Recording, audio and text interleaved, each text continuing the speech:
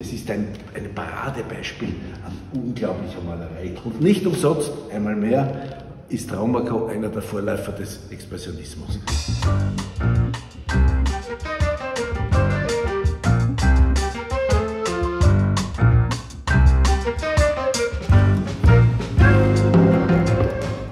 Anton Romakow kann man, kann man durchaus davon sprechen, dass es ein absoluter Lieblingsmaler ist von uns, oder? Also ich deute auf mich, aber... Ja, ich glaube, das können wir sofort einvernehmen. Anton Romakow gehört zu den ganz, ganz, ganz großen Lieblingen von Christian Schweiger. Und wir haben hier ein Bild so aus den 70er Jahren in Rom entstanden. Und er zeigt uns ein Thema, das künstlerisch interessant ist, aber gar nicht ausgewählt worden ist aus künstlerischen Gründen, sondern weil es damals hochmodisch war, die Schäfer und Schäferinnen der Campagna, des Rom umgebenden Landes, äh, zum Thema zu machen. Wobei man natürlich sagen muss, du, jetzt, du bist jetzt vorgepreischt mit der Datierung der späten 70er Jahre. Ja. Ähm, wir haben ja immer wieder ähm, Diskussionen. Es gibt eine Publikation, Ja. ähm, die wurde vom Belvedere herausgegeben. Ja. Ähm, und ich glaube, da könnte man noch viel mutiger datieren. Ich glaube, diese gesamte Datierung beim Anton Romakow ist, da hört man immer nur so Ende der 70er Jahre, Ja. frühe 80er Jahre. Ja. Ähm, das wäre eigentlich mal eine schöne Aufgabe für uns, oder? Ja, also für mich nicht mehr. Ich bin schon ein bisschen zu alt, wenn es auch so schön ist und ich würde mich zwar sehr gern mit dem Roma dauernd beschäftigen, weil er wirklich ein faszinierender Künstler ist, aber das wäre eine Arbeit, die sich in meiner Lebenszeit nicht mehr ausgeht. Aber Das etwas, bitte, ich muss, muss kurz dieses Thema, ähm, ich muss das ansprechen. Wir haben nämlich hier ganz intensive ähm, Diskussionen geführt bezüglich dieser Hand ähm. Ich weiß nicht, bist du im Team Hand oder bist du im Team nicht so im Team? Dir, dir gefällt es gut? Mir Hand? gefällt sie außerordentlich Ja. gut. Ja. Also der, unser herrlicher Herr Schweiger, ähm, der hat sich da ein bisschen ähm, darüber, wie soll man sagen, mokiert, beschwert, Ja. aufgeregt. Ähm, die hat ein bisschen was Artifizielles, nicht? Sie kommt irgendwie so in, einem, in einer Eigenartigkeit, in einer Eigenartigkeit daher. Aber ist wurscht, oder? Nein, es ist ähm, in- kurzen Sätzen. Das Wesentliche der Malerei ist die Spannung, die Gegensätze.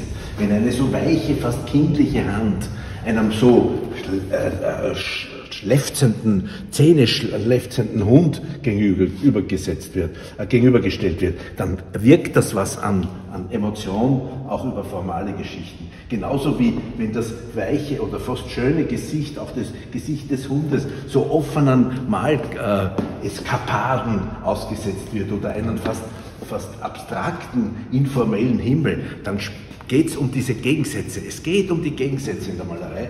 Und ich halte gerade, wäre die Hand bearbeitet wie alles andere, würde das Bild in sich zusammenkrachen. Mhm. Gut, das sehe ich eigentlich auch so. Jetzt muss man noch etwas erklären, weil das, mir jetzt gerade aufgefallen ist.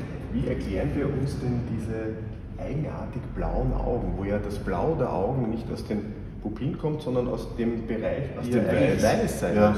Naja, äh, er ist ja schon einer, der sehr früh Blau als Farbe der Schatten erkennt. Äh, Es bei ihm gibt schon praktisch zeitgleich, wenn nicht sogar früher, zu den Impressionisten blaue Schatten. Und äh, weiß würde, das wäre ja auch, stellt, man braucht sich immer nur die Alternative vorstellen. Stell dir vor, diese, diese Das wäre die, wer weiß, das wäre zu viel. Aber das ist auf jeden Fall, ich meine, das ist wirklich ein spezielles Char- Charakteristikum dieses Bildes. Ja. Der, das ist ein junger, junger Hirte mit den wahrscheinlich ungewöhnlichsten blauen Augen der Kunstgeschichte.